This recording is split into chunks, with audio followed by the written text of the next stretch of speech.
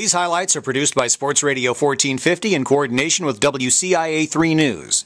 Last game of the season for 1A, 2A boys basketball, and what a finale in the Sangamo between Plains and Riverton.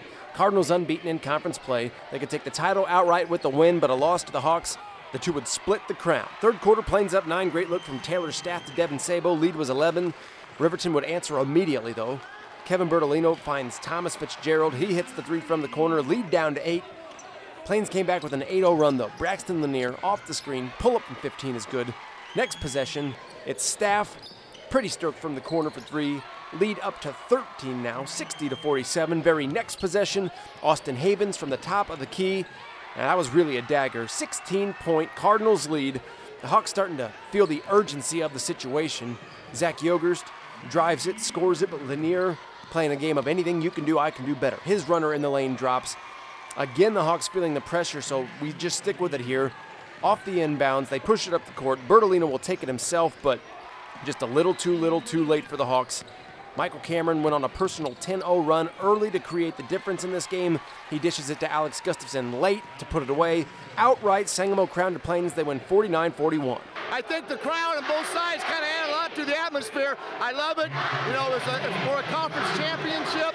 We brought a good crowd over here. I'm pleased with the boy, way the boys played. They played a good defensive uh, game, holding Riverton to 40 points. We knew it was going to be a game, big game tonight. We knew it was going to be a packed house, and but we like this. We like all this atmosphere, and um, we've been looking forward to playing them ever since we found out we couldn't play them in county, and so we're just all really excited. It felt like a state game. Uh, you know, it was loud. You couldn't hear anything. I, I, I couldn't hear my, my, my thoughts, but you know, it, it, means a lot going into the whole game and just coming out with a win. We haven't really uh, done too well as far as winning conference championships, but we finally got one outright, like he's saying. It feels pretty good. Another conference title could be decided on Friday in the CS8. Lanphier already a share of the league championship, but they could have it outright with the win over Rochester. They'd have to do it without Larry Austin Jr., sprained right shoulder. That was not a problem. Things got started early with the defense. Surprise, surprise. TJ Davis, the steal. His lay-in does not go. Everett Clemens follow does. 20 on the night for Everett. A big night for Lance Boozer, who sneaks behind the defense here. A.J. Powers finds him. Boozer up strong. Lanphier up 18 to 4 in the first quarter. And then Jalen Brigady running the break. Scotty Wallace, the big man, running the court. 20 to 4, Lanphier on top. Powers and Boozer going to hook up again then. 15 points on the night for Boozer. TJ Davis added 15 as well. They'll save the ball into him, and the senior point guard will knock down the three.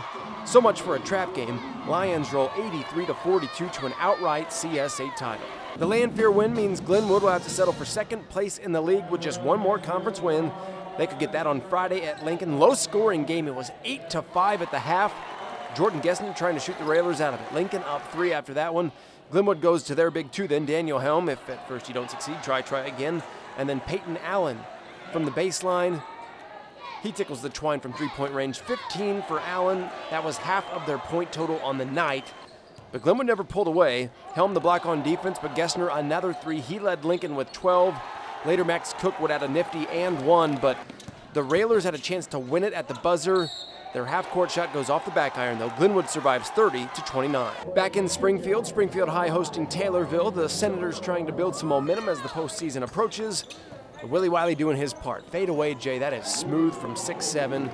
26 and 11 for Wiley, double double. Springfield was rolling in transition. Connor Jacobs knocks down the triple, and someone lit a fire under DeCarlos Poole on Friday. He picks the pass, and it is showtime on the other end. That's a hammer right there. Where's that been? Poole can shoot it too. A little bit later, he pulls it from the wing. Springfield high 67 to 35 over Taylorville. And finally on Friday, a stop in Auburn where the Battle of the Gravens saw its formal annual renewal. Williamsville coach Brian Graven, son of Auburn's Doug Graven, Shirts sold to those in attendance with the proceeds benefiting breast cancer awareness. As for the game, early on, J.J. Watson to Sam Pennsylvania on the run out. Bullets up two. Auburn comes back. Austin Minch to West Copeland. That's no good. Lyle Edwards, the senior on senior night, the rebound, the putback. Two of his game high 16. Back to the other end. Pennsylvania to Clinton Fletcher, an easy layup. Auburn goes to their freshman, then Cooper Eaker. He takes the contact, gets the and one. We are tied again, and the Trojans, they close out the quarter on a run.